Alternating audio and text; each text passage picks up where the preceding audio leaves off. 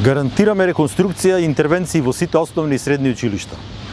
Предучилишното, основното, средното и високото образование ќе ги градиме врз принципите за образование на 21. век. Гарантираме, веднаш отпочнуваме со постапка за донесување локална стратегија за образование. Принципите на оваа стратегија мора да бидат втемелени најпрвен врз потребите и интересите на учениците и родителите, но и усогласени со потребите на пазарот на трудот. Деловната заедница, стопанството, ќе бидат еден од клучните фактори во донесувањето и имплементирањето на оваа стратегија. Како нова локална самуправа, веднаш отпочнуваме со кампања за подигање на свеста кај родителите роми за важноста на предучилишното, основното, средното и високото образование. Гарантираме обезбедување на еднакви услови за образование на децата роми преку обезбедување на таблети и друга IT опрема за успешна реализација на воспитно-образовниот процес и сеопфатна вклученост во него на оваа категорија ученици.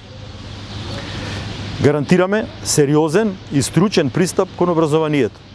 Гарантираме негово унапредување преку формирање асоциација во која покрај непосредните учесници, родители и наставници, ќе ги вклучиме и стручните лица од високото образование, соодветно на нивните академски специјалности. Гарантираме реконструкција и интервенции во сите основни и средни училишта. Особено внимание ќе посветиме на нивното прилагодување на вонредните наставни услови, предизвикани од пандемијата COVID-19. Гарантираме подршка за спроведување на пропишаните протоколи за заштита на здравјето на учениците и наставниците преку обезбедување техничко-хигиенски средства. Гарантираме обезбедување опрема и таблети за сите ученици од ранливите категории. Гарантираме зголемување безбедност во училиштето, видеомониторинг во училишните дворови и комплетно осветлување и физичко обезбедување во секој училиште.